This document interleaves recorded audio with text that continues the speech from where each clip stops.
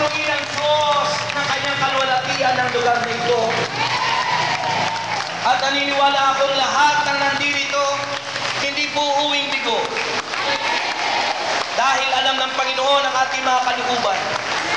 Lahat ng maikinig maging sa kapaligiran nito at tatanggapin ang mabuting balita, ako po'y naniniwala, the power of God, the power of His Word, and the power of His name power, the healing, deliverance, the great miracle of the Lord Jesus Christ. Amen. Taas ang mga kamay. At sabihin natin ngayong gabi ito, mga kapatid, na tayong lahat ay punuin. Punuin ng kanyang Espiritu. Holy Spirit, fill me. My heart is yours.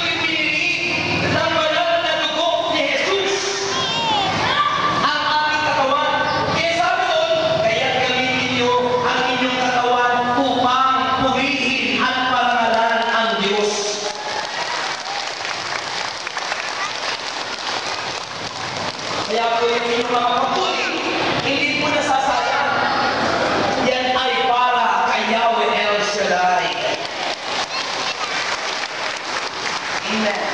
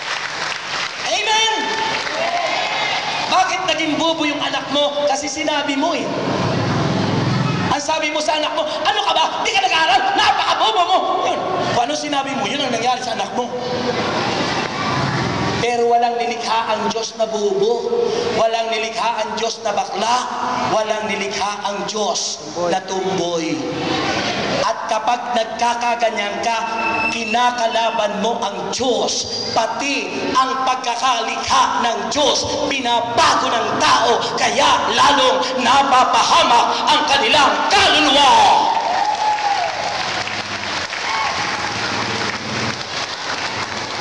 Amen! So brothers and sisters, yan ang sinasabi ng Biblia na tanda, palatandaan ng pagbabalik ni Kristo. Ano nga bang nangyayari ngayon? Hindi ba ganyan? Hindi ba dalawang channel sa telebisyon, pare-pareha sila, bakla, tumboy, pinaglalaban, contest? Patay tayo dyan. That's my tomboy. Noong time show! Puro kabaklaan ang kanang pinagagagawa, kaya nahahawahan transferring of spirit nung maliliit na batang lalaki na nakatutok sa telebisyon. Brothers and sisters, that's the sign of the end time. Sabi ng Bible yan, at hindi ako may sabi. Ang sabi ng Diyos, ang kanyang pagbabalik ay matutulad sa Sodom and Gomorrah, tulad rin ang panahon ni Noah na mga tao'y nag-aasawa, naglalasing, ang mga tao ay walang halaga ang sa ng Diyos. Ang mahalaga sa tao ngayon, pera. That is your God. Idolatry. Kaya kahit araw ng linggo, pagsamba, ayaw mong makinig. Ayaw mong pumunta ng simbahan. Pinagpalit mo yung negosyo mo. Pinagpalit mo yung pera. Pinagpalit mo dahil sabi mo, hindi ako po pwede pumunta dyan. Bakit? May negosyo ako, may trabaho ako, lahat na lang mayroon. Nung magkasakit, nagpipilit tumakad papunta ng simbahan. Nung magkasakit, na-stroke, dalhin niyo ako sa El Shaddai. Gusto ko pag tumalik. Ay, mga anak, mga apo, tulungan mo naman ako. Hirap na hirap na ako. Gusto kong pumunta sa El Shaddai. Gusto ko pag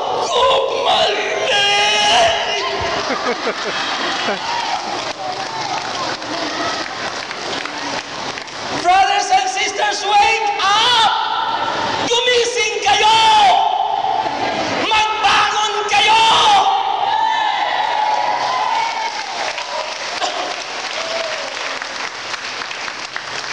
Tandaan nyo, ito yung gospel sa Sunday, sa mga simbahan. Ito ang mabuting balita na ipapahayag sa simbahan this coming Sunday. At ito ang kailangan natin pakinggan. Magbago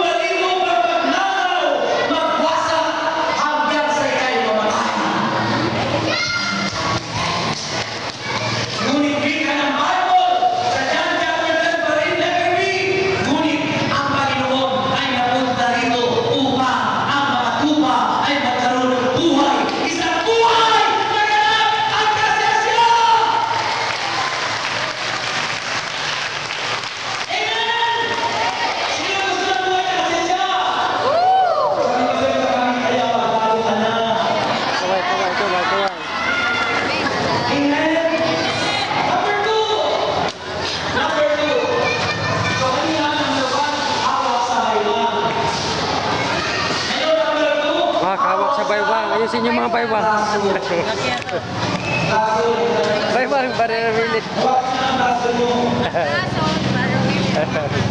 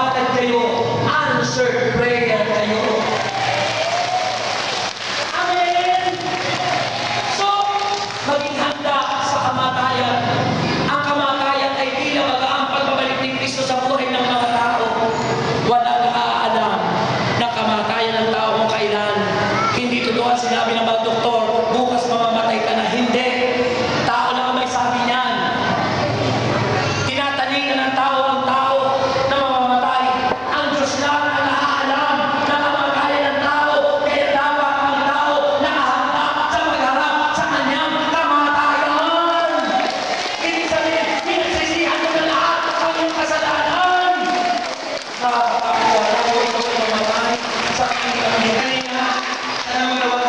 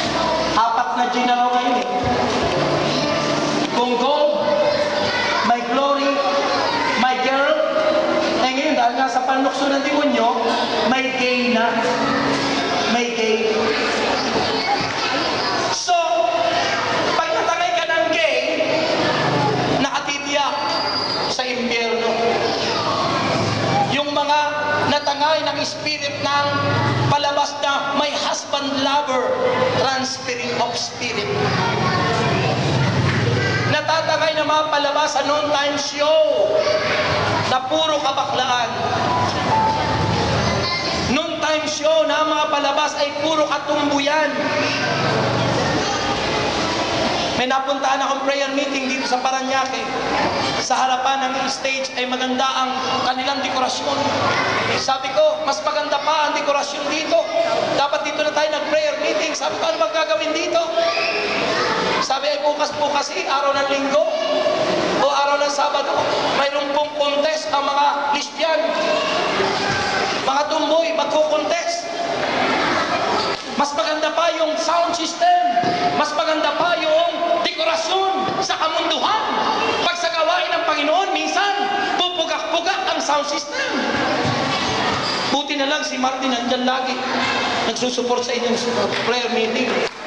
At mura ang singil sa inyo. Dapat murahan naman talaga dahil ito hindi negosyo. Amen? Ito'y para sa Diyos, sa ikaluluwalhati ng Panginoon. At tinitin ko sa inyo, kapag ginagawa niyo para sa kaluluwalhati ng Panginoon, pagyayamanin, pagpapalain tayo,